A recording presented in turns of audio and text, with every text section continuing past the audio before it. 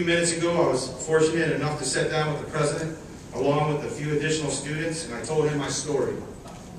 I told him where I've been, where I'm at, and where I plan to go. There were several folks at the table with a similar story, and none of our training would be possible without the federal support of the, of the critical programs. So, Mr. President, thank you.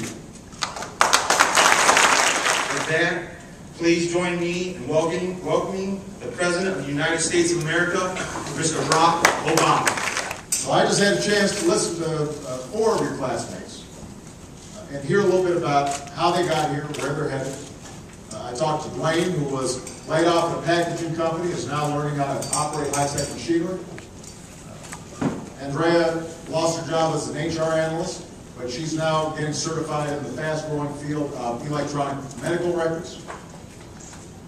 David, who, in addition to being a truck driver for 23 years, was also a Marine, so we know he can do the job. He's here to retrain for a higher paying job. And you just heard from who was laid off two years ago. And you heard what he said. He was in a dead end in his life. And this program, along with his wife, uh, gave him uh, an opportunity. Folks in Ohio know about that. Nothing's given. And that's why we're helping more community colleges like this. When you take classes at a community college like this one, you learn the skills that you need to get a job right away. That does not just benefit you, it benefits the company that ends up hiring and profiting from your skills.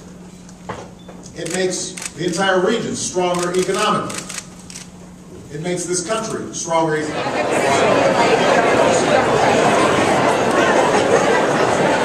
I decided to turn my life around and go back to school and provide for my family. the president. Um, it was the greatest, greatest experience I ever had in my life.